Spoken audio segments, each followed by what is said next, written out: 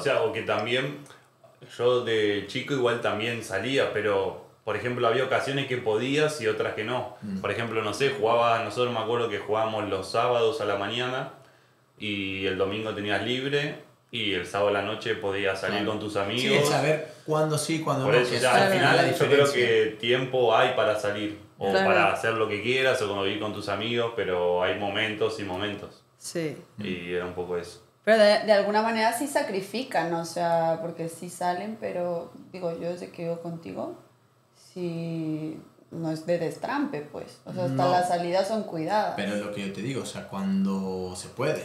Ya. O sea, tampoco Pues hay gente sea- que lo hace aunque no se pueda. Bueno, pues y después, no, no, después al final el, el fútbol te, lo, te saca las cuentas. Ya. Te dice, a A la ver, larga o a la a la corta. larga, a la corta, eso Se ve. se nota. Este, ¿y cómo fue tu debut en River Plate?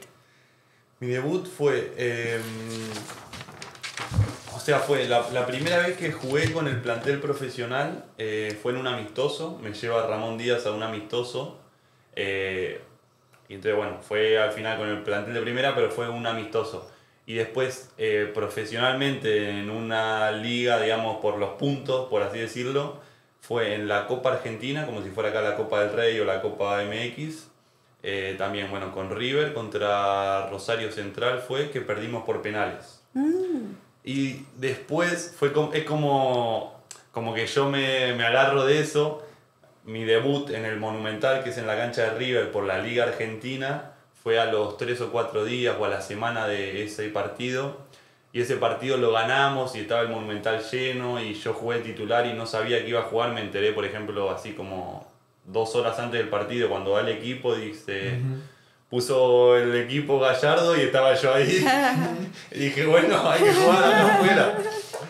Y, y ahí fue como que lo disfruté muchísimo ese partido. Me acuerdo que entré al vestuario después de ganar y me emocioné pensando en mi abuelo, que era una persona que me había acompañado mucho y había fallecido. Y fue como, como que tengo ese día como muy clavado. Para ti es de- como tu día especial de Claro, debut. mi día especial Ah. y como de debut que lo tomo eso. Pero mi Sí. debut oficial fue en la Copa Argentina hacía una semana de este partido. ¿Qué edad tenías en ahí. Tenía 19. 19. Sí, 18 y había cumplido 19 recién, creo. Yo soy bastante malo para la fecha, no me acuerdo. 2014. 2014, sí. Sí, por ahí. Sí. 2000, ah no, dije, Máximo. Máximo nació en 2000. Sí, 2015 máximo nació. Sí, sí. Manches, ¿Eres un bebé? Sí, sí. 2015. Yo estaba, yo estaba por jugar mi tercer mundial. Claro. Y este güey ya Debutando. debutando. güey, qué viejo estoy, no mames. No puede ser. Pero vos también, ¿con cuánto debutaste? Vos tenías 15 18. años, ¿cuánto? No, debuté 18. ¿18? Pero claro, a mí lo que pasa es que yo debuté con 18 y a los 19 ya Claro, jugué el primer mundial. Claro. O sea, no, Ah, además, es verdad. no, había, no había ni pasado un año cuando de profesional que ya me llamó, Ya te ya fuiste me llamaron rápido. Sí, Y además también te viniste para acá también a los rápido. 20 al año. Claro, O sea, fue al año, menos de un año mundial y al año pues me vine para acá. claro. O sea, dos años estuve en México solamente. ¿Tiras penales tú también? O sea, ¿sí te gusta? Ahora es de los que... Ah. Tiré- Es que como te dijiste de los penales, dije... Tiré, eh, tiré en México dos, metí uno y erré uno en una final. Erré en la final antes de venir para acá. Es verdad, me acuerdo. Monterrey la tiré arriba. ¿Sí? A la que la tiran para arriba Quise, sí te... quise, quise pegarle tan fuerte que, que la tiré a la miércoles. Encima era, o sea, era como perfecto porque igual no era el penal para ganar, era para no perder porque habíamos cerrado, creo, no me acuerdo. No, era, era el quinto penal y yo erré y lo metió Bangioni, creo, y salió campeón Rayados.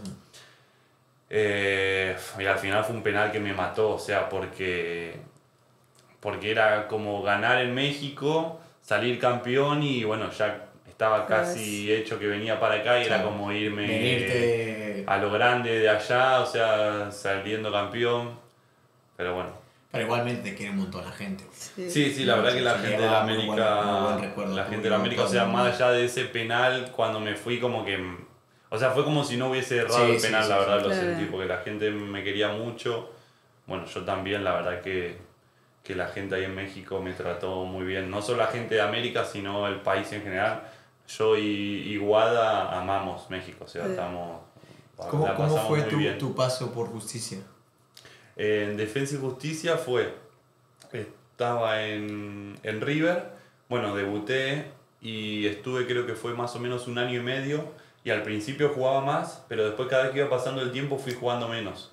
Eh, vino también, había dos cinco adelante mío, que era Craneviter y Poncio, que lo estaban haciendo muy bien, que, que bueno, yo jugaba muy poco y ahí fue en cuando me preguntaste si había pensado alguna vez en dejar, no pensé en dejar, pero en ese momento empecé a dudar como de mí, de si podía jugar en primera división, por así decirlo. Porque jugaba muy poco, jugaba por ahí una vez por mes o sí, una vez por mes, cosas así. Y cada vez que jugaba como que no me terminaba de sentir bien físicamente, sentía que me costaba mucho, como que no estaba al mismo nivel. Y al final eh, me fui a Defensa y Justicia seis meses a préstamo a jugar y ahí jugué todos los partidos y ahí fue como que me volví a sentir jugador. O sea, fue lo mejor que me pudo pasar fue haberme ido a Defensa y Justicia, que es un equipo más chico de Argentina, pero que ahí fui, eh, éramos todos chicos como que íbamos de clubes a préstamo para jugar. Eh, teníamos un entrenador, Ariel Holland, que para mí me enseñó muchísimo, aprendí muchísimo con él. Y ahí fue como que de nuevo dije, sí, o sea, puedo jugar en primera división, o sea, era un equipo de primera división, puedo jugar en primera división, lo hicimos muy bien, clasificamos a la Copa Sudamericana, que sería como la Europa League, y, y, ahí me, me, sentí muy bien. En Defensa y Justicia, fue como un club que, que me ayudó muchísimo a mí para crecer, para sentirme jugador de nuevo, y bueno, y de ahí después me fui a México, a, a Tijuana.